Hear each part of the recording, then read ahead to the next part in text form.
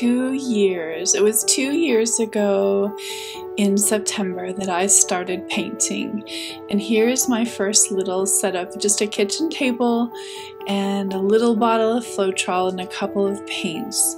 And that's how I started. I used to pour on paper. This is my first ever pour, you guys. The first one I ever did. And then I added silicone, and that was my first silicone pour and my first flip cup. And I was so excited by the way it turned out. That's my first swipe ever. And so I decided I wanted to try more and I I took over the whole kitchen table, you can see, and the next thing I know, the paintings took over the whole living room. and my whole space was filled with paintings, and I loved the fluid art form. And I remember my first commission piece. I remember writing the card to the client and saying, Thank you so much. I would never forget my first sale it meant a lot to me. And then I started getting more commissions and more sales. And people wanted to know how I did this crazy pouring art. So I set up a studio and with cameras and I started recording everything. And that is how Heather Mader Art was born and I started my YouTube channel to share. I remember my first thousand subscribers, I waited with bated breath for people to watch and then I had 2,000 and then 5,000 and my channel just kept growing and growing with so much support and love and I just remember being I'm blown away and I still feel so blessed I've got to work with some of my idols, uh, Gina DeLuca, and collaborations with Molly's Artistry. Those were my first two. Uh, Mixed Media Girl was one of them. Fiona, she was so nice to me, and Saskia Smith. And a big inspiration of mine was Elise Fournier, so talented. And Mina Villegas, such a kind Parson and Gail Burston with Life in Spatters and uh, Cause Creations and Harmony House Art. And then I got to do a collaboration with Heartfelt Artistry and Sandra Lett, who takes my pours and transforms them into something absolutely stunning. I love doing collaborations with her. Thank you to all of you who watch and support the channel. And my Instagram has been a labor of love, but it's also been so fun to share my art with all of you and read the comments and get the support. I don't know, I guess I just have been feeling really sentimental lately about Heather Mader art, watching just watching it grow as I have grown over the last two years and how my space has transformed into a real art studio. and I'm a real business now. And it's just such a good feeling to see something blossom, something that was once a dream into reality and all the recognition I've gotten. Arteza's uh, Artist of the Month, that blew me away. And Julie Vatcher wrote this beautiful interview on me. It's, it's just been, I don't know, it's, it's been amazing. And oh, and then I started doing the lives. that has been super fun.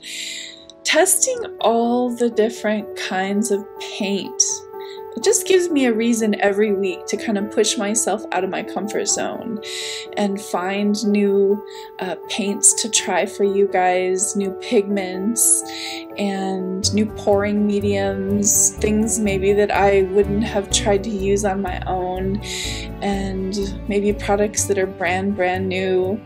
Um, testing different kinds of products to see how they work and it's been amazing because it's really pushed me to be a better artist and pushed me out of my comfort zone quite a bit. Um, after all, we do a lot of experiments on the lives, and I fail sometimes, and sometimes I succeed, and you guys are right there with me. Um, I do try to say thank you so much by doing some giveaways on the live and I we've done some cool giveaways like the big golden giveaway and split cup giveaway and watercolors. And I don't know. I, I just have to say I want to thank you so much for all that you've done to support the channel.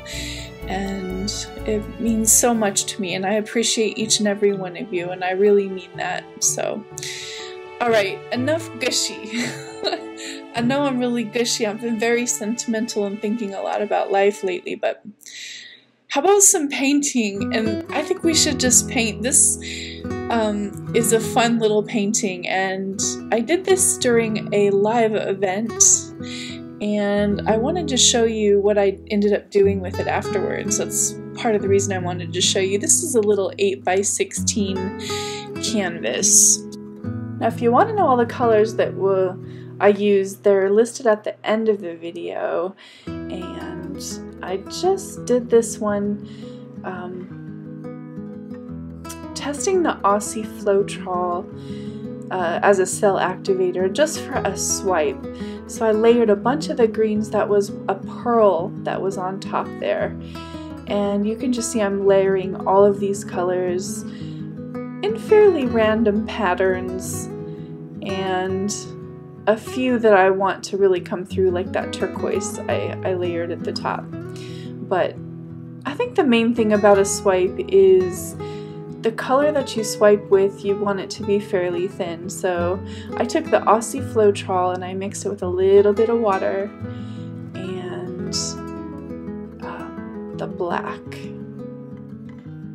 And then poured it over the top there. And just drizzle a little bit here and there. Um, those are my handy little swiping tools I like to use. Isn't that pretty? Now, it did work so well with the Aussie Floetrol. Um, it really works well for swiping and creating that lacing. And that's how people are getting the bloom effect. It's one of the ways. There's a lot of uh, technical things that make that bloom effect, but I, I really noticed that the Aussie Floetrol has a, a, just a beautiful lacing effect anytime that I've used it. So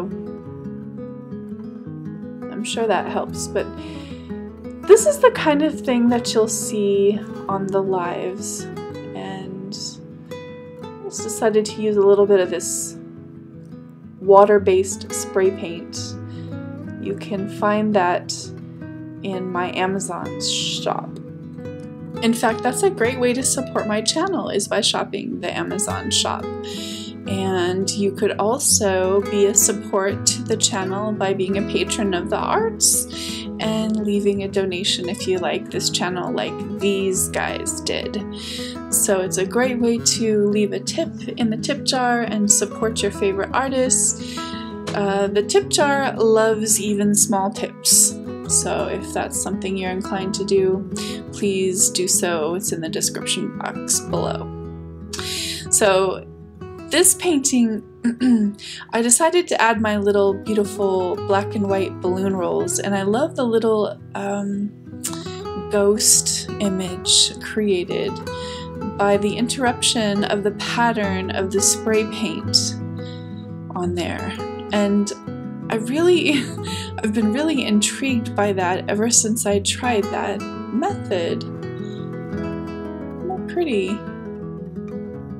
And I just think this painting is so fresh and bright and it turned out so pretty and I thought it dried really well too and that's the painting dried. It's very shiny. All of my paints were mixed with Floetrol and this was the black cell activator. And again, all the paints are listed at the end of this video if you're interested and you want to know which ones I used. I just thought that's so pretty, but I've been inspired lately to do some embellishments and I just couldn't help myself and I broke out the little brushes and I embellished this painting and this is what it looked like afterwards. It's different, I know, but I'm trying to get comfortable with a brush and I want to get more into brush painting this year and this is helping me just feel more comfortable with the brush and I like this painting both before and after the embellishments. Um, you can tell me what you think in the comments below what you thought. I appreciate each and every one of you and thank you so much for watching Heather Mader Art.